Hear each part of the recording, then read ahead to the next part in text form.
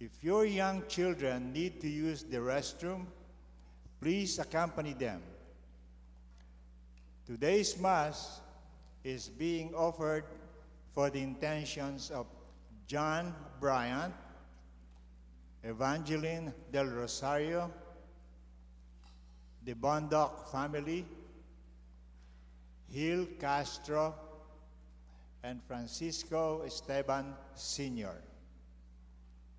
Before Mass begins, let us take the time to greet one another, our fellow parishioners. A good afternoon.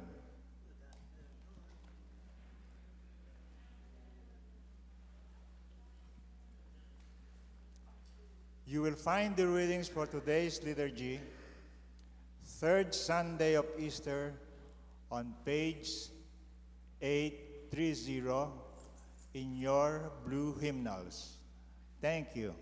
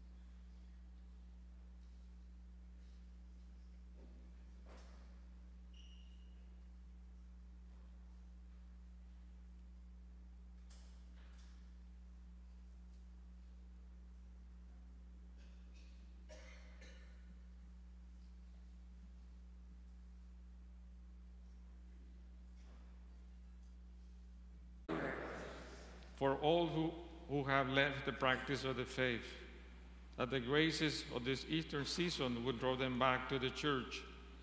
We pray to the Lord. Lord, hear our prayer.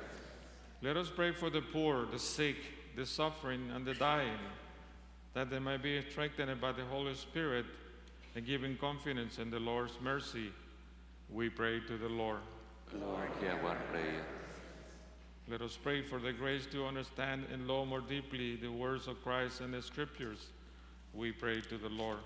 Lord, hear our prayer.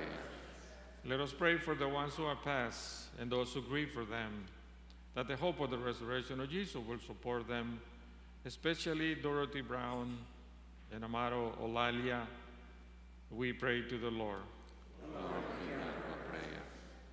We pray for John Bryan, Evangeline del Rosario, the Bondoc family, Gil Castro, and Francisco Esteban Sr., for whom this Mass is intended.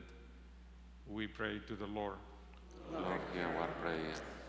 For our own intentions and petitions, especially those petitions offered at this Mass in our prayer petition vessel.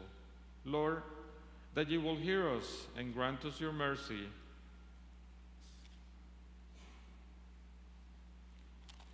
We pray to the Lord. Lord, hear our prayer. Most merciful Father, reveal to us your saving power and preserve us always in your grace. For we trust in you through Christ our Lord. Amen. Please turn to song number 332. Two, We're Bound for Emmaus. Number 332.